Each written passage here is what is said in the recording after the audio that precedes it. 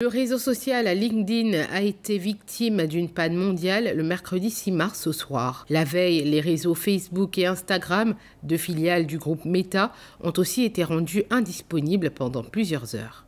Qu'est-ce qui s'est passé? Nous avons posé la question à une experte du domaine. Euh, alors c'est un bug technique. Les serveurs ont été touchés, les serveurs ont planté. Euh, suite à des mises à jour, il y a des nouvelles mises à jour qui doivent être mises en place. Euh, donc il y a des nouveautés qui arriveront. Euh, l'entrée en vigueur de certaines euh, applications, ou on va dire plutôt directives européennes ciblant certaines entreprises de la tech avec l'intelligence artificielle. Il y a des services qui doivent être modifiés. C'est une directive européenne en tout cas qui a été mise en place. Euh, si je me rappelle bien, c'est le Digital Market Act. Voilà.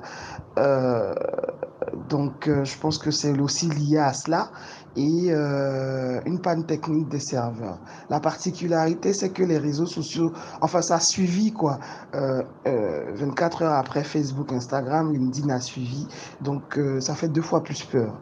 Cette panne est également survenue à quelques heures de l'entrée en vigueur du Digital Market, une directive européenne ayant pour cible les grandes entreprises de la tech. Plusieurs entreprises doivent en vue de cette date modifier certains de leurs services, notamment TikTok et LinkedIn.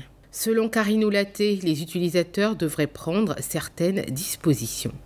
Euh, je demanderai aux utilisateurs de sécuriser leur compte ou dès qu'ils ont accès à leur compte de vérifier les informations de connexion car on ne sait jamais. Il peut avoir des bugs, il peut avoir des personnes qui ont pu pirater euh, des informations, voilà. Donc euh, faire attention aux informations personnelles des comptes, resécuriser les comptes, revérifier si tout est en place et puis voilà. Près de 4 milliards de personnes utilisent au moins une des plateformes du géant des réseaux sociaux Facebook, Instagram, Messenger et WhatsApp tous les mois. En 2021, une panne simultanée des quatre services de Meta avait eu une grande ampleur impactant des milliards de personnes.